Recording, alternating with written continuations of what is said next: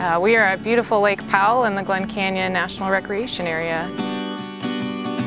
So Lake Powell has quagga mussels. They're an invasive small mollusk uh, about the size of your fingernail um, and they come they were introduced on recreational watercraft. They have some really pretty bad impacts once they get introduced to a water and currently there's no way to eradicate them. They can impact fisheries and angling and recreation. They get into the water infrastructure and they block pipes and they get on dam gates that can then no longer be lifted up. They can cost millions of dollars um, in water and power infrastructure and impacts. So you must clean, drain, and dry your boat when you leave an AIS affected water, and AIS means aquatic invasive species. If you have been on a mussel infected water for six or more days, then you have to contact the Arizona Game and Fish Department. You have to have your boat inspected and decontaminated.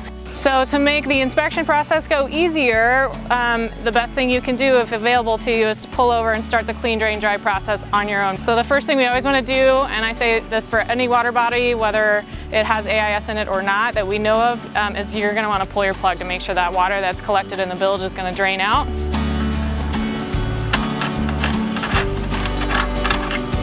Yeah, so we're also going to want to lower the motor and make sure that we're draining water out of the motor that's collected in there. Again, we're just clean draining and drying the boat to the best of our ability. Anchors are another huge thing that we want you to look at. Make sure that they don't have mud, plants, any organic material or any debris on them. If, if the inspector were to have found something, um, attached mussels, that we would be required to decontaminate this boat prior to leaving Lake Powell. Um, and there are some resources available. You can contact the AIS program at Arizona Game and Fish uh, to seek out those resources and we can point you in the right direction. Largely the western United States does not have mussel infestations and we're trying to keep it that way.